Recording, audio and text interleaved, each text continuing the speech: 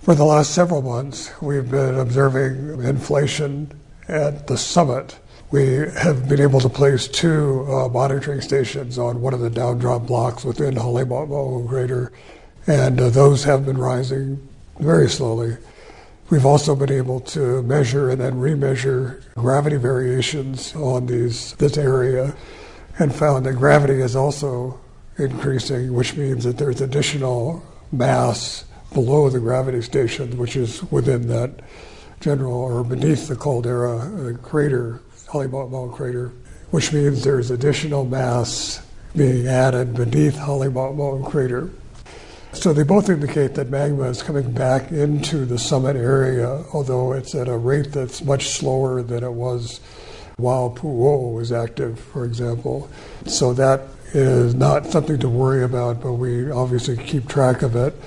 There continues to be inflation in an area just downrift of Pu'u in the Middle East Rift Zone.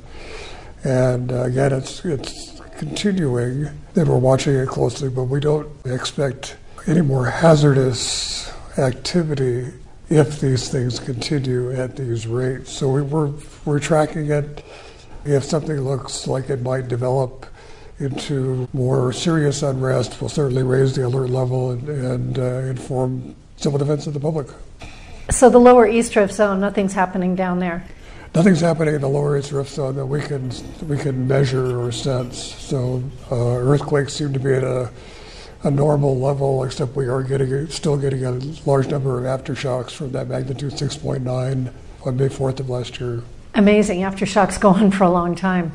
Around the 3rd of July, the scientists at Hawaiian Volcano Observatory raised the alert level of Mauna Loa from the lowest level to advisory just because you were seeing an increase in earthquakes, not big earthquakes, but just the number had increased. And I'd just like to know what the status of Mauna Loa is today. Mauna Loa is still pretty much as active as it has been in the last several months. There is still intermittent activity up near the summit and on its upper west flank.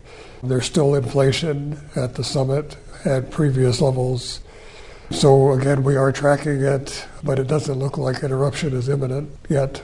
So the scientists are not planning on raising the alert level for Mauna Loa again at this time? Uh, no, the rate of earthquakes and the rate of inflation of the summit continues at about the same rate. We keep measuring it, but no, there have been no increases yet.